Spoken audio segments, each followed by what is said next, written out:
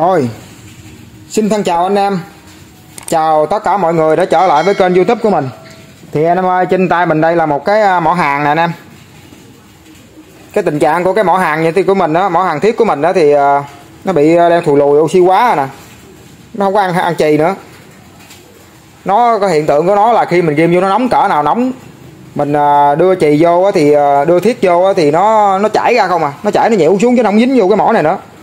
Không dính vô đây nữa ha. Thì ờ, làm sao để mà mình ờ, khắc phục tình trạng này? Thì ngày hôm nay mình xin ờ, hướng dẫn các bạn đó là sẽ thực hiện ha. Cách để mà chúng ta đó là hàng thiết ăn khi mà để lâu ngày hoặc là chúng ta không có cách bảo quản mà cái cái món hàng chúng ta đó là hàng không ăn trì nữa nha. Không ăn thiết. Thì cái màu nãy mình giờ mình ghim vô mình không ăn nè, nhìn nè. Nó bị oxy quá, nó nhìn nó đen lắm, không ăn thì à, mình cần phải chuẩn bị gì? Thì đầu tiên á, mình cần phải chuẩn bị một cái tờ giấy rám như thế này, ha, hoặc là một cây dũa gì đó. Mình sẽ là đánh bóng cái cái cái à, cái đầu mỏ hàng này nè anh em. Đánh bóng nó như mới, lúc mới mua về luôn á. Mình đánh cho thật là bóng lại lại lại. Ha. Mình sau đó mà mình chà cho nó thiệt là là sáng bóng lên ha. Bỏ đi cái lớp oxy hóa bên ngoài đi. Rồi chúng ta sẽ thực hiện các bước tiếp theo.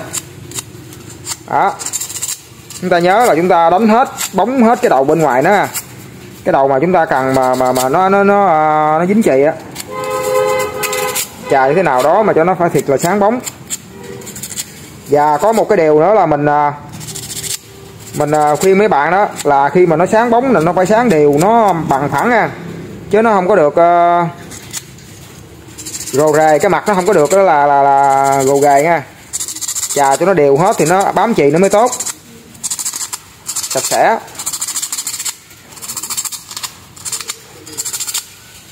Ừ.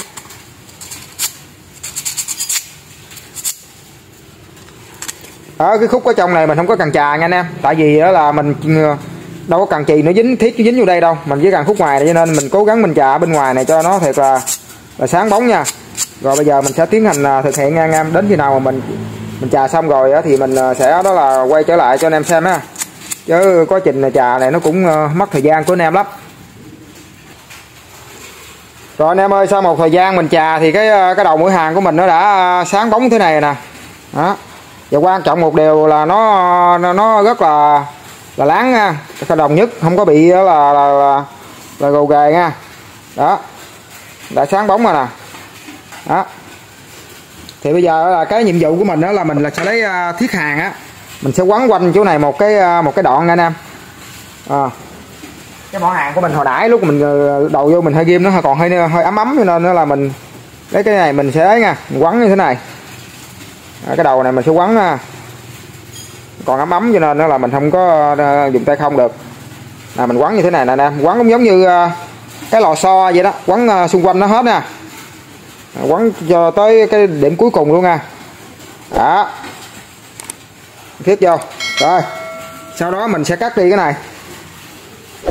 Ha. Rồi bây giờ mình sẽ ghim điện nha anh em. Giờ mình chờ nha. Chờ đến khi nào mà nó chảy chì thì mình ờ, chảy thiết ra thì mình sẽ tiếp tục nha anh em. Rồi mình sẽ ghim điện vô. Rồi. Mình sẽ là chờ một khoảng thời gian nha, cho cái ờ, mỏ hàng mình nó nóng lên. Đây là cái mỏ hàng 60W mỏ hàng cái hiệu ờ, tàu lao gì đâu á. Mỏ hàng dởm. Một số anh em nói thì cần phải có mỏ hàng tốt thì chúng ta hàng mới được, thì đó là một cái điều ờ, hiển nhiên rồi. Nó sẽ tốt và nó mua hàng rất là tốt hơn. Nhưng mà những anh em không có điều kiện hoặc là những anh em mới ờ, là tập ờ, là sửa chữa điện tử như bọc bạch đó thì chúng ta mà đầu tư cái mỏ hàng tốt thì nó hơi bị diêm màng túi. Chính vì vậy mà cho nên đó là mình sử dụng cái mỏ hàng này và mình khắc phục nó để anh em xem thôi ha. Ai cũng thể làm được. Đây là cách mà mình thực hiện được bây giờ mình à, lấy cái mẫu hàng cũ ra mình thực hiện cho anh em xem ha. Thử coi nó có thành công hay là không. Đó, bây giờ mình chỉ chỉ cần chờ thôi.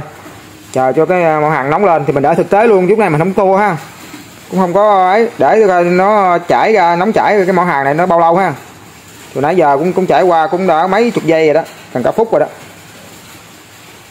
Rồi mẫu hàng mà nó bắt đầu nó nóng chảy rồi đó, nóng rồi nè. Đó. Mình chơi tay không mình thử luôn nè, nó nóng. Đó, bây giờ nó đã bốc khói rồi nè em thấy bốc khói không? Đó. Rồi chị đợi chị đợi đợi cho nó chảy ờ, thiết ra ha. Để cái tay dưới nó nhiễu lên cái tay cái vui luôn. Hy sinh vì sự nghiệp ờ, làm youtube luôn. Đó anh em thấy đó đã chạy thiết ra nè. Mỏ hàng 60W tay hàng hiệu ờ, là là, là, là Thái Đức. Bét mới ghê chứ à anh em thấy nè nó đã à, chạy thiết ra nè. Xì bóng bóng rồi nè. Đó ghê chưa? Xì cái bong bóng.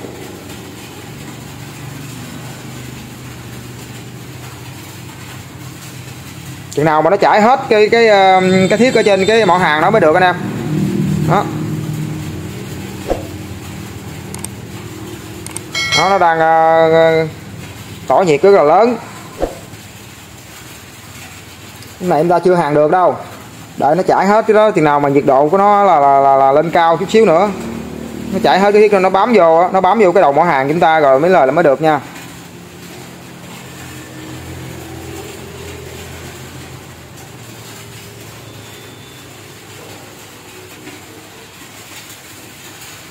Nãy giờ trải qua cũng à, gần 2 phút rồi đó mà nó chưa có chảy ờ, được thiết nữa. Đây là cái mỏ hàng không có được xịn nha anh em. Đó. Đó bắt đầu nó chảy rồi nè anh em chảy thiết rồi nè. Anh em thấy nè đó. Rồi nó chảy rồi nó dính vô luôn rồi. À, nó nhiễu luôn rồi kìa. Đó lúc này chúng ta sẽ đó là chấm vô cái miếng nhựa thông ha. Chấm vô. Đấy. Chấm vô. Cho nó một chút nhựa thông rồi, anh em nhìn cái cái món hàng, mình quan sát cái món hàng nè, lúc này nè. Đó, nó đã bám chì rồi nè, anh em.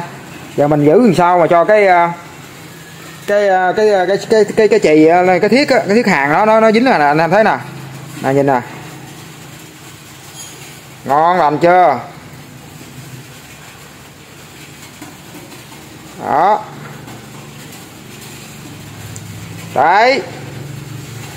Thấy chưa, nó ăn thiết rồi, thấy không? Đó. Thấy chưa? Như vậy là chúng ta đã khắc phục được cái tình trạng mà mà, mà mỏ hàng chúng ta không ăn thiết rồi ha. Đó. Nè nó lúc này là chúng ta đã à, ấy được nè nhiễu vô tay cái chìa ấy đi luôn á. Máy lấy nét không kịp đó nó ăn thiết rồi nè. Ăn một khoảng xe dài luôn mình càng khúc nào thì mình chờ cho nó ấy khúc đó. Ha. Đấy. Cái đây là chúng ta à, đã có thể hàng được rồi anh em hàng là ok rồi đó. Là chúng ta đó là đưa thiết vô là chảy tung tung luôn rồi nè, đó. Không còn tình trạng là chảy chì ờ, rớt ra ngoài nữa. Đó, ngon lành ha. Đó. đây. Rồi, như vậy là mình đã chia sẻ với anh em cách để mà chúng ta đó là à, khắc phục cái mỏ hàng chúng ta không có ờ, ăn thiết ha. Thì đây là cách rất là là là, là, là, là, là hay luôn ha. Mình mong rằng là mình sẽ giúp được anh em ha. Đây nè chỉ cần một ờ, tờ giấy ráp ha. Là chúng ta có thể đó là à, sửa được cái mỏ hàng chúng ta ha. Tờ giấy ráp thôi. Đó, bình thường gì nè. Đó. là chúng ta đó là sẽ đó là sửa được cái mỏ hàng chúng ta. Ừ. Rồi, thân chào anh em nha. Hẹn gặp lại anh em trong trong các clip tiếp theo của mình nha. Rồi, bye bye.